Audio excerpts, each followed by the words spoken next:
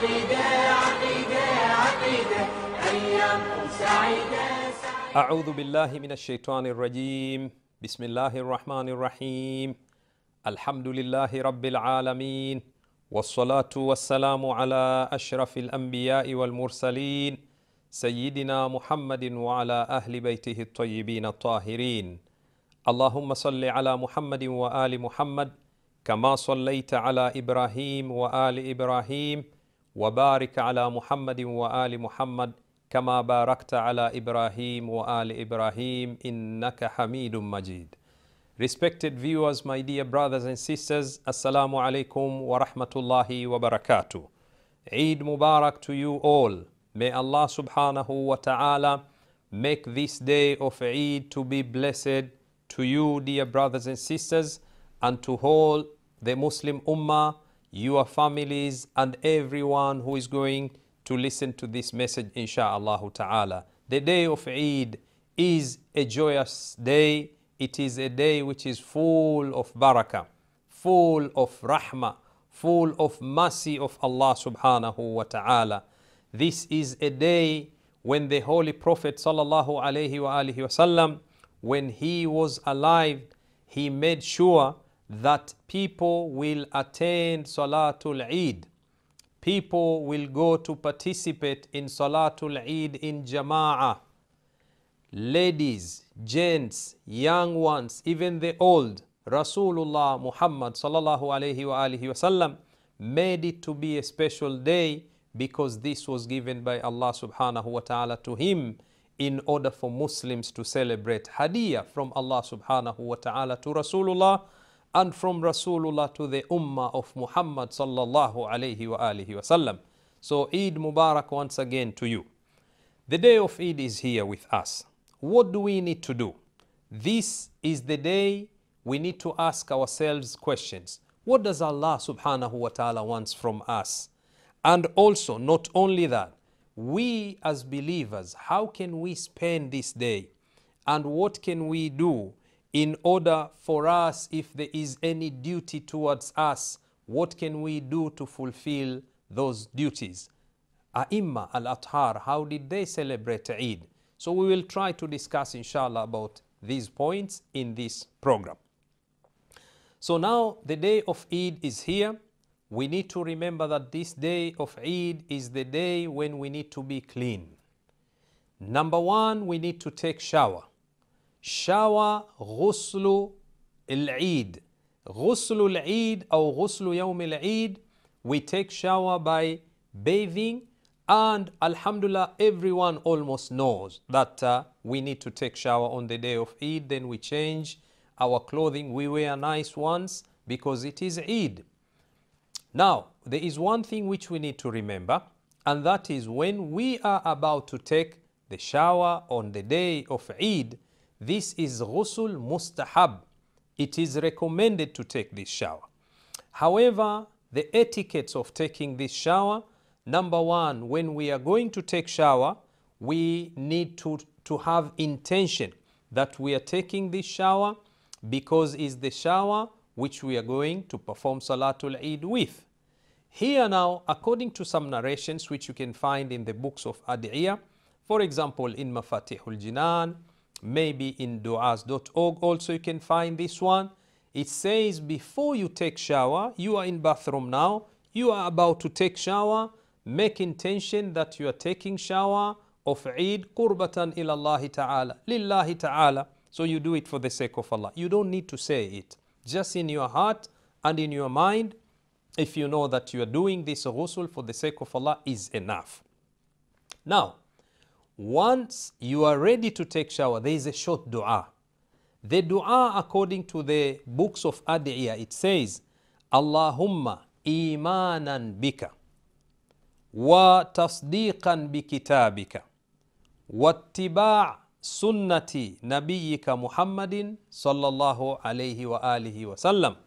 Then you continue to say, Allahumma ij'alhu kafaratan لذنوبي وطهر ديني اللهم أذهب عني الدنس This dua it says, O Allah, believing in you.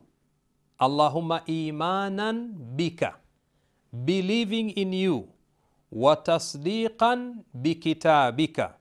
And full aware of your book, the Holy Quran. Wattiba'a sunnati nabiyyika Muhammadin. And following the traditions of your Prophet Muhammad sallallahu alayhi wa ali. May blessings of Allah be upon him and upon his holy family. Allahumma ij'alhu kafaratan lidhunubi. O Allah, please consider this shower which I'm going to take to wipe out my sins, kafaratan lidhunubi, watahir dini, and purify my faith through this shower. Allahumma adhib anni ad-danas. O Allah, please remove filth from me. This dua, we say it when we are taking the shower. Now, this shower will be totally different. It will not be just a normal shower because why? You take shower and you connect it with Allah subhanahu wa ta'ala. You are asking Him to make you pure and to start a day afresh and for you to be a clean person, not only your body, but also your heart and your mind to be pure in order for you to be ready to go for Salatul Eid. So you take shower. And the way scholars are saying is that when you take this shower of Eid is like any other shower, shower which you take it on Friday, or shower which you take it for janaba, ghuslul haid, nifas, it's the same. What do you need to do is just make sure that your whole body have been covered with water. And there are few methods, but the general method which we follow is that you make sure you have washed your head, the whole of it. Don't use any cup or anything to stop the water to reach your, your hair. Make sure the water touches each and every part of your head and your neck. And then you wash your right side of your body, front and back, and then your left side, front and back.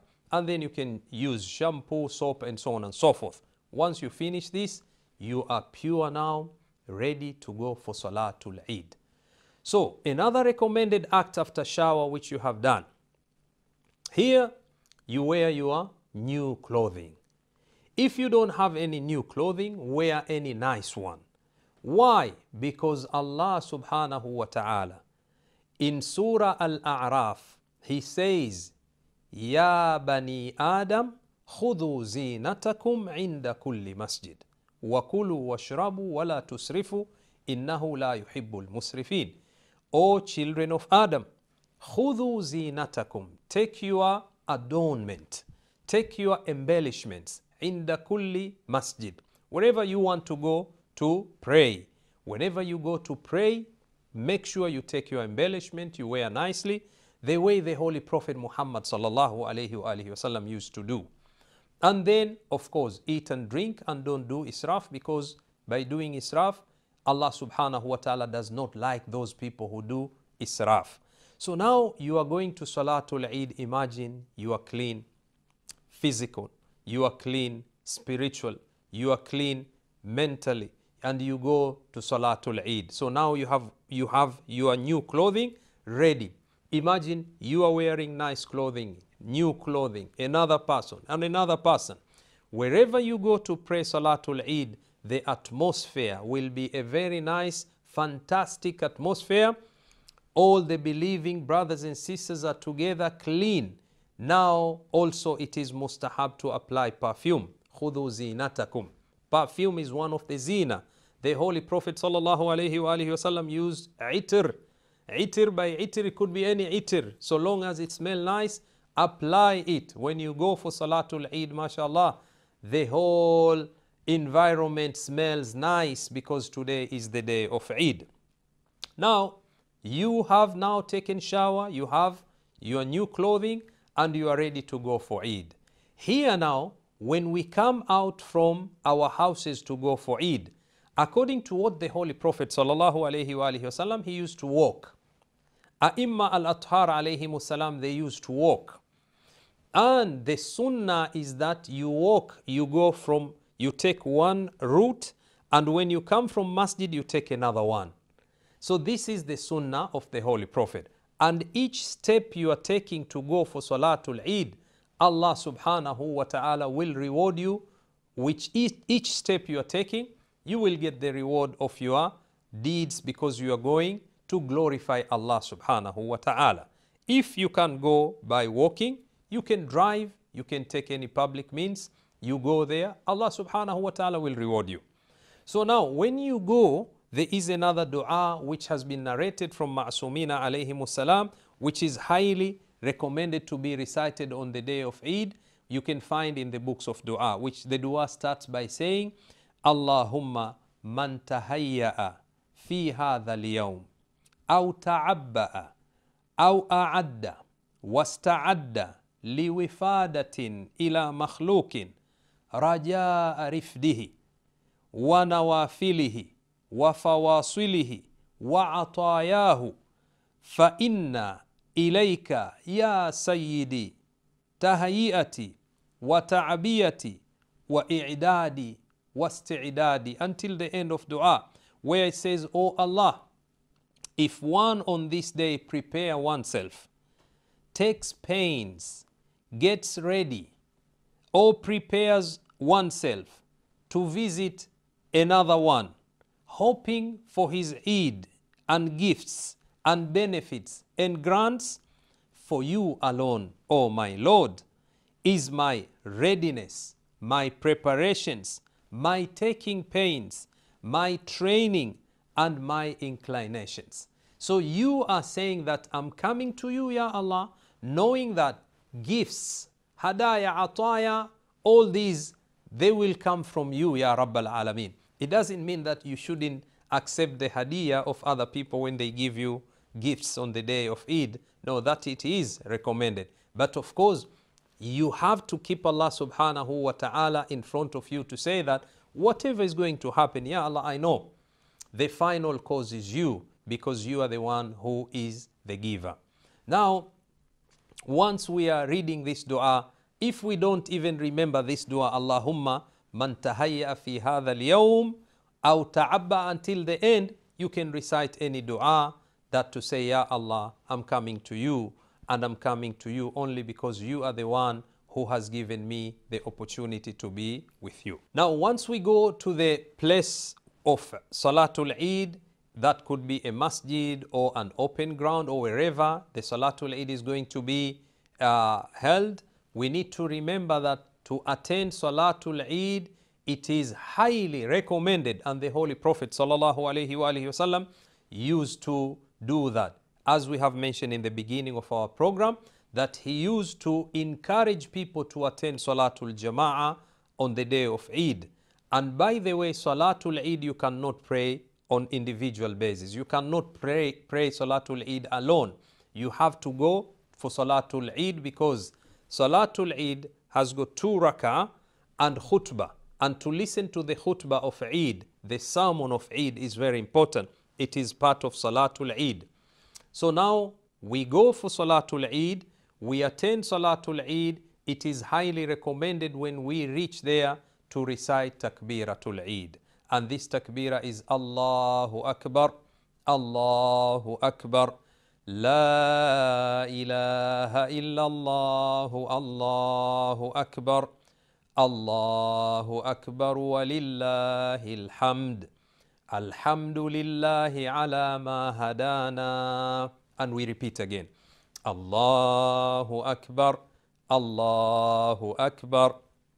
لا إله إلا الله والله أكبر. الله أكبر ولله الحمد الحمد لله على ما هدانا Now can you imagine the whole masjid or the whole center, people who are praying, even if it is a ground, everyone is chanting this La ilaha illallah, Allahu Akbar, Takbiratul Eid, Allahu Akbar. God is greater. Allahu Akbar. God is greater than any description. La ilaha illallah, Wallahu Akbar. There is no God worthy of worship except Allah. Wallahu Akbar. And Allah is greater than any description. Allahu Akbar walillahil hamd. And Allah is greater than any description and belongs to Him is all praises. Alhamdulillahi ala ma hadana. We thank Allah subhanahu wa ta'ala for His uh, guidance. Walahu shukru ala ma aulana as per the riwayah. Walahu shukru ala ma aulana. And the shukr and gratitudes go to Allah subhanahu wa ta'ala for whatever He has bestowed upon us. To recite this takbirah on the day of Eid is highly recommended. And especially, brothers, when you are there for the Salatul Eid, make sure you read this in turn to make the atmosphere to be the atmosphere of Eid. So once we have recited takbirah, and of course in many places they are ready, there are people who are ready to recite these takbirah, and then the imam who is leading salah will stand in order for him to start Salatul Eid. Here we need to remember that there is no adhana or iqama, no adhan, no iqama on the day of Eid for Salatul Eid. Salatul Eid, he will say only the Imam, once he stands up ready for Salah, he will say As-Salah, As-Salah, As-Salah. Salah now, it's ready. Salah, stand up for Salah, stand up for Salah. And then we start Salatul Eid. The Imam will lead Salatul Eid before giving the two sermons. It's not like Jum'ah. On the day of Jum'ah, Imam will give sermons and then he will pray, will lead Salatul Eid, and we will follow. But on the day of Eid, he starts with Salah, we follow in Jama'ah, and after Salatul Eid, then he stands to give two sermons to remind us about taqwa, to remind us about akhirah, to remind us about our duties towards others. Salatul Eid is two rak'ah as we know, but however they are rukunut, which we read five kunut in the first raka uh, eh, and in the second raka, four kunuts. And these kunuts, it is highly recommended to read the dua which has been narrated from the Holy Prophet from Ma'sumina alayhi salam. The kunut is highly recommended to be recited and this is the one which says, Allahumma ahlal kibriya'i wal azamah وأهل الجود والجبروت وأهل العفو والرحمة وأهل التقوى والمغفرة. أسألك بحق هذا اليوم الذي جعلته للمسلمين عيدا ولمحمد صلى الله عليه وآله ذخرا وشرفا وكرامة ومزيدا. أن تصلي على محمد وآل محمد وأن تدخلني في كل خير أدخلت فيه محمدا وآل محمد وأن تخرجني من كل سوء أخرجت منه محمدا وآل محمد صلواتك عليه وعليهم اللهم إني أسألك خير ما سألك به عبادك الصالحون وأعوذ بك مما استعاذ minhu ibadukal salihun. This dua with some uh, narrations which uh, the words could be a bit different here and there, but generally speaking, this is a highly recommended qunut which the imam will read and we will follow behind him. So you don't you don't worry if you have not memorized this qunut, imam while he is reciting, you can follow also him. The qunut talks about Allah subhanahu wa ta'ala that He is our Lord and we glorify Him uh, on His greatness and then we thank Him by allowing us to celebrate the Eid, which is the holiday which was given specifically to the Holy Prophet Muhammad sallallahu alaihi wasallam as a day of celebration. And we ask Allah subhanahu wa ta'ala to make us enter into that which is good, every good which He made the Holy Prophet to enter. We, may, we ask Allah subhanahu wa ta'ala also to make us be among those people who have been made to be with the Holy Prophet in terms of the merits and barakah. And then we ask Him to keep us away from any evil which He has kept the Holy Prophet Muhammad sallallahu alayhi wa sallam away from the evil. This dua we keep on repeating on kunut five times in the first rak'ah, and then we go for ruku and sujud, and then we stand up again for the second rak'ah. Imam will recite Surah Al Fatiha and another surah, and then the kunut four times, ruku, sujud, we finish salah, and then he gives the sermons. These two khutbahs are very important. One of the things which the Imams of Salatul Eid will re- remind us is taqwa. To fear Allah subhanahu wa ta'ala, to have that good consciousness in our mind, to see Allah subhanahu wa ta'ala in front of us. And on the day of Eid is very important.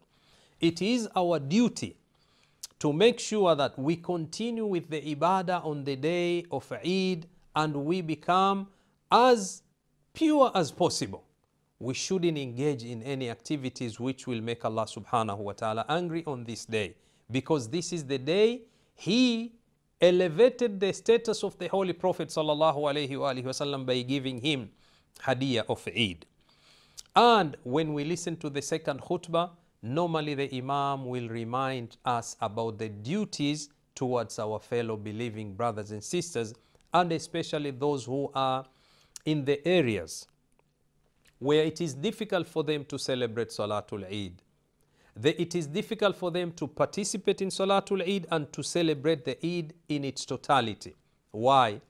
Because of the wars which are in those areas, because of insecurity in those areas, because of problems, other types of problems. So imagine you have got the opportunity to attend Salatul Eid and you have prayed peacefully but then you remember it is your duty and my duty to pray for those people who have not this opportunity, have not got, have not managed to, to get the opportunity to pray and celebrate Eid with you.